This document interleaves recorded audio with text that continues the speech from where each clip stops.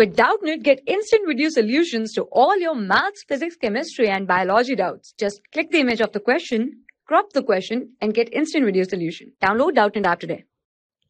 A particle start from origin at t equals to 0 with an initial velocity 3 i cap meter per second and move in xy plane with a constant acceleration of this the x coordinate of the particle at the instant when its y coordinate is 32 is d meter, then you have to find out d.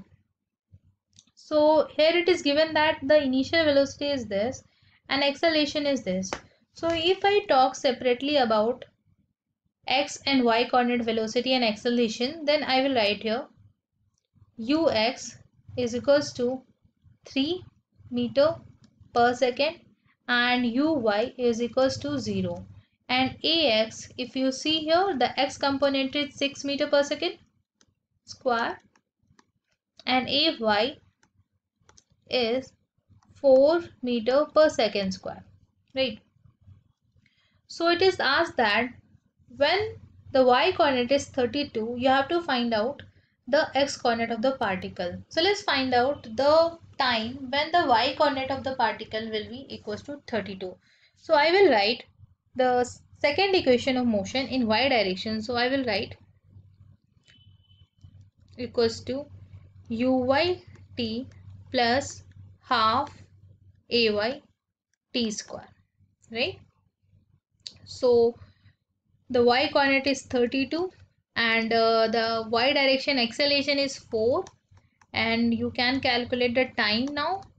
So you will get t square is equals to 16 that is t equals to 4 second.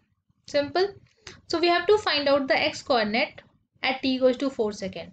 So we can apply the same second equation in x direction. So we'll write here x equals to uxt plus half ax t square.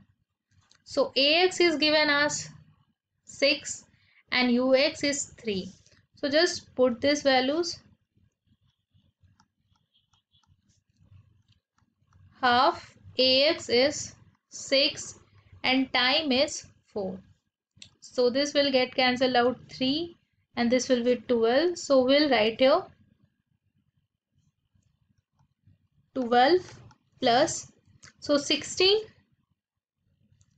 whole square is 16 into 3 it is 48 so the x coordinate will be 60 meter so in the question d value is asked here so the value of d will be 60 simple thank you